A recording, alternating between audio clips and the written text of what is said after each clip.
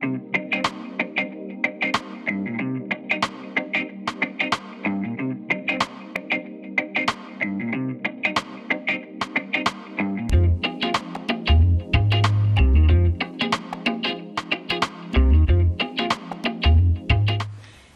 I must say that there is a need to amend eh, tender procedures.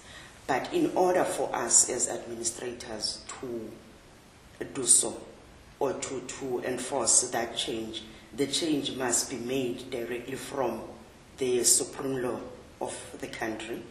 Eh, our South African constitution, it states uh, five pillars of public procurement, which is we must conduct a public procurement in a fair, equitable, transparent, competitive, and cost-effective manner. Yet, if you look at the five pillars, there is one thing that is missing, which is a challenge currently, is the sustainability, meaning we need to procure or conduct in tendering processes in a sustainable manner and ensure that we improve the quality of life of communities in a more sustainable manner.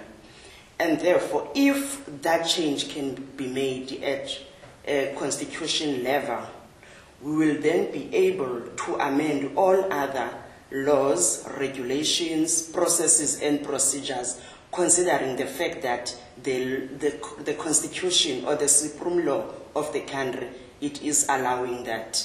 Uh, take, for instance, currently, we are not able to amend tender procedures and include that even though, yes, I think there is section 152 of the constitution that is uh, providing the objectives of the municipality, which also talks to the fact that we should be rendering services to the public in a more sustainable manner. But we are not able to enforce that at tendering stage because it is not part of the tendering processes. And our businesses or business partners, they need to abide or to conduct business in a more, in, in a more responsible manner. Uh, yes, uh, the Nelson Mandela Bay municipality have joined the Procura uh, network. Uh, again, the, the municipalities that decided to join the Procura Plus networks are the municipalities that they have an interest of ensuring that they serve their community in a more responsible manner. So the, the Procura Plus network, it is really assisting us or it is uh, giving us um, information.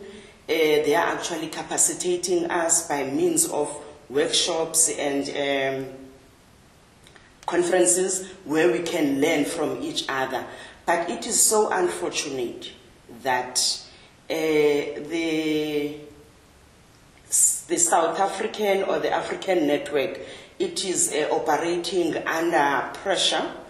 Uh, we have challenges like financial challenges. We are not even able to conduct seminars or conferences where we can meet on a regular basis and share knowledge and skills. Hence, we need support in terms of financial um, support or any other resources that will be useful to the uh, network.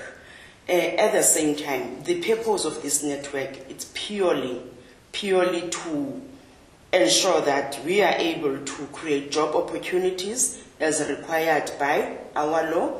We are able to improve the quality of life of our communities.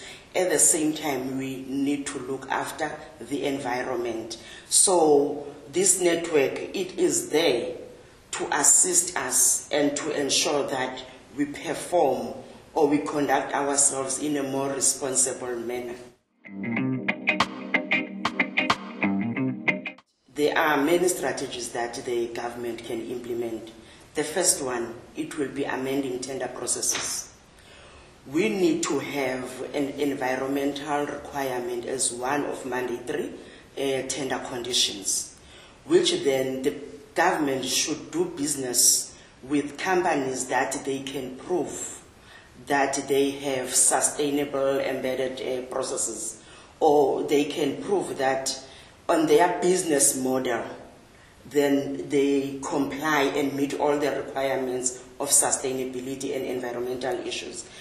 Um, secondly, we need to conduct business strictly with companies that are willing and companies that they need to show a commitment in assisting the government in achieving its goal in terms of improving the quality of life. Because in most cases, currently we are conducting business with companies that are focusing on profit generating rather than giving back to the community.